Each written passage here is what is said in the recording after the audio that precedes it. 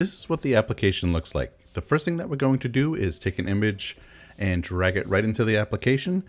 It will open automatically. And now we'll be able to see this particular image in 3D space in that top right hand corner there. You'll notice there's a lot of greens for the trees, some of the cyan blues for the sky. The way that we're viewing it now is similar to waveform monitor in the sense that you have the brightest parts up at the top and the darkest parts at the bottom. But if I right click and go ahead and drag this around, you'll see what essentially is a color wheel. And now we can better see the distribution of colors, the greens that I mentioned before and the blues in the sky.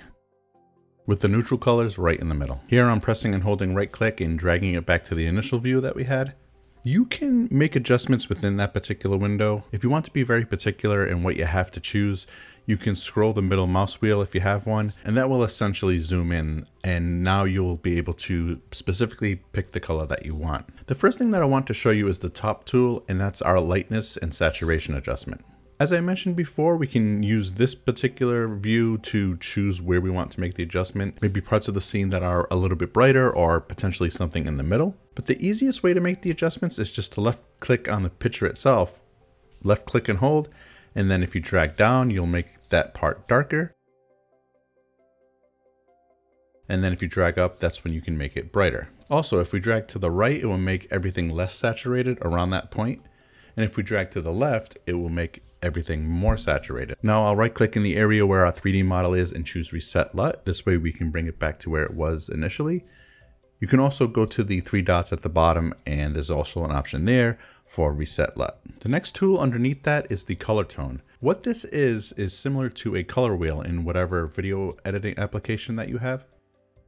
So once again, I will click on somewhere in the sky and just underneath our 3D model, you'll see that color wheel and we can use that as reference to determine what we're going to change the colors to. So once I left click, I can drag this all around, our 3D model gets adjusted, and we can determine how we want our scene to look. Our next tool is the contrast adjustment. Underneath our model, you'll see where it shows something similar to a curves tool in your editing program. To be clear, that's just a visual representation. If I drag up, it adds more contrast around that point that we chose. And of course, if we pull it down, it will do the opposite. And we can see that visually represented in the feedback area, which I'm showing you now. I went ahead and reset the LUT just to show what happens if we choose a different point. So now I'll choose something brighter, those clouds potentially in this scene. Now when I make the adjustment, you'll see that it has a different impact, once again indicated by the feedback option at the bottom of the screen. The last tool at the top is the color twist. So we'll select a part of our scene and we can adjust the hue of everything as indicated once again by the feedback window at the bottom of the application. Now up to this point, all the tools have affected the scene globally, so it's affecting every part of the scene. So the second one in is the hue range. I'm going to reset the LUT so we're back to our original image. And now we're only going to adjust the colors in the sky. When you left click, it shows a temporary mask and anything in black will not be adjusted. Anything lighter or in gray will be adjusted with anything that's closer to white being adjusted the most. Once we start making our adjustments, the mask disappears and we can see the adjustments that we're making. What you'll notice here is that the sky is obviously changing colors, but the trees remain the same exact color. What you may have noticed too is the transition from the colors that we've adjusted to the other colors in the scene isn't exactly smooth and you can see a lot of artifacts in our reference image. There's actually a tool in the top right hand corner and this will just smooth out those artifacts a little bit. To be fair, this particular image is a JPEG, but if you were using a PNG or even better a TIFF, this would perform a lot better. Also in the top right hand corner, we have a before and after. If you click on the eye symbol and keep it pressed down, it will show you the before image. So that's just a quick way that you can do a comparison. Now, if you're not satisfied with what it's selected when you left click and hold to see what adjustments you've made, you can adjust the tolerance right next to the tool that we selected. If I lower the amount, the road that was selected in the middle of the scene is now not going to be affected as much. Our next tool at the bottom is the saturation range. And of course, this is pretty self-explanatory. Anywhere you click within our reference photo, we'll use the area that you selected as the reference point as a determination about what other parts of the scene it's going to be affecting. First, I'm going to go to the top where we have our lightness and saturation adjustments. Here, I'm going to be using those particular highly saturated leaves at the top of our scene. So now it's going to choose the most saturated parts of our image. And then once I start making our adjustments by moving the mouse around, you'll notice it's only affecting those parts of our footage. In this case, I'm making it less saturated. Then of course I can drag in the other direction and make them more saturated if I prefer.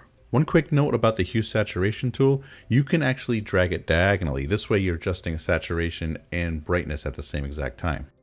Our last tool is the custom range, and this is probably one of the most powerful ones. The first option you see is HSL, which you may already be familiar with, and that's our hue, saturation, and luminance. The nice thing about this tool is that box on the right, if you click that, it will keep the mask up. This way you can hover your mouse around the scene and it will show you in real time what parts of the scene that you're selecting. Once you're satisfied with an area that you want to adjust, you can left click and it will hold it there. It may move around a little bit as you drag the mouse off of the reference image, but wherever you clicked on is what will be adjusted. Now let's look at our 3D model on the right hand side. Any area in that light gray is what is being selected. So as I make the adjustments, more of that area may become lighter gray. And of course, if I drag in the other direction, less will be covered.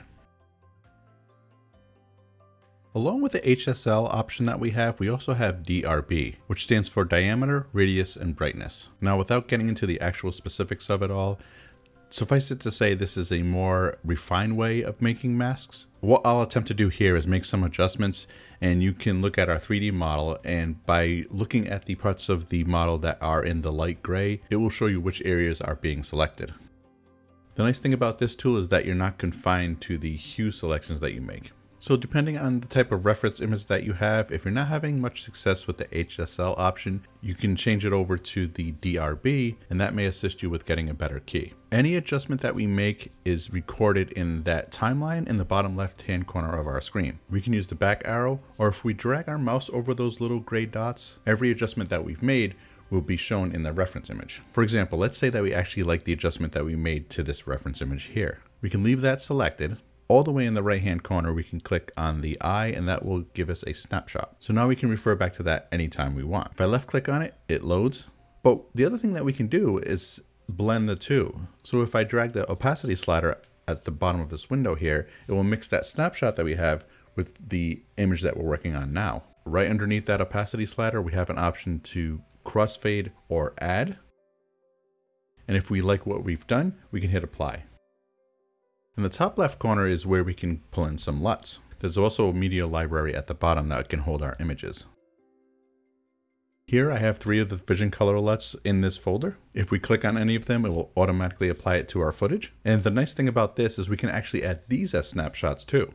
If we hit the plus icon, it will put it in the same area as our other snapshots. And obviously the same options apply. If we want to adjust the opacity so it's not as intense, we can use that opacity slider. And by the way, if I leave the opacity at 100, what you're looking at there is the LUT. So if you're curious about what adjustments a particular LUT makes, that model will show you in 3D space what colors are being adjusted and potentially what brightness is being adjusted too. One quick adjustment that you can make in the 3D model is adjusting the brightest point and the darkest point. Of course, if we click on the white dot and bring it down, we're lowering our highlights. And then of course, if we click on the black dot at the bottom and lift that up, now we have our lifted blacks. Let's quickly run through everything again. What I'll do is come over to our global adjustments, come up to our tool with the contrast, and I'll choose the trees in the middle drag up. So now we're adding contrast using that particular point as a pivot point. Now at the top, I'll choose our lightness and saturation. Choose the trees off to the left-hand side there, somewhat in the middle, and we'll drag that to the right.